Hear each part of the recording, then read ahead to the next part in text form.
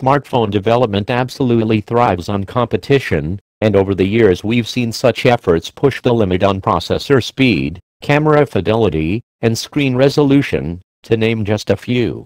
One of the latest hot areas where OEMs can really make their phones shine is in terms of battery performance, and while anyone can give their phone a larger battery, the attractive metric now is just how fast a battery charges. Over the past few years we've already seen such tech evolve by leaps and bounds, and these days we even have wireless high-speed charging that gives traditional wired solutions a run for their money.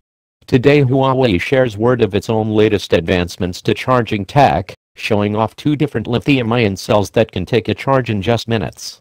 Huawei's system adds extra ring-shaped molecules to the already ring-shaped structure of a battery's graphite anode, allowing for what the company claims is faster charging capacity with no energy density or battery life trade-offs.